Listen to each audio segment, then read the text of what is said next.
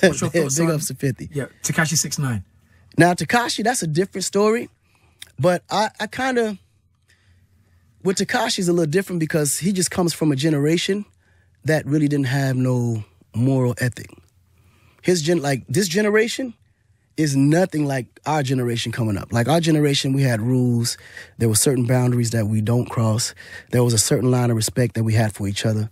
There was always a level of um, uh, uh, selfishness that we just only kept to ourselves.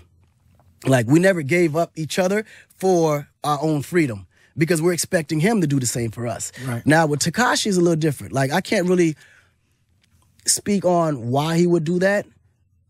But most likely it's for the obvious reasons. But everyone goes through something in their life that propels them to do things that they feel is in the best interest of themselves. And I think you really can't blame him if what he's saying is the truth. Now, granted, there's this big rule that you never spoke, you never talk to the cops, you never speak to the police, you don't rat. I get it. But at the end of the day, if it's true and he said it, it is what it is.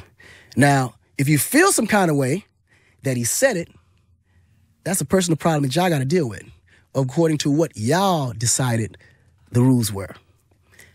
Now, the question is, had he not said it, with the people he didn't say it for, back him, protect him, or do the same for him? There's some people in my life, I would, no matter what,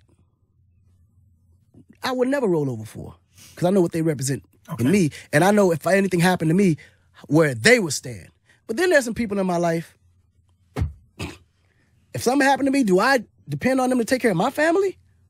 Absolutely not. Mm. So why am I loyal to you? Yeah, yeah, yeah, yeah. So everybody has a purpose and a reason of why they would do things. So that's why I'm not so quick to judge him because I don't know exactly what is happening behind closed doors that may not be explained or may not be out to the public to know. It's some information that just still to this day is still answering questions. But as a man, you can only respect somebody that does what they think is the best for them and their families.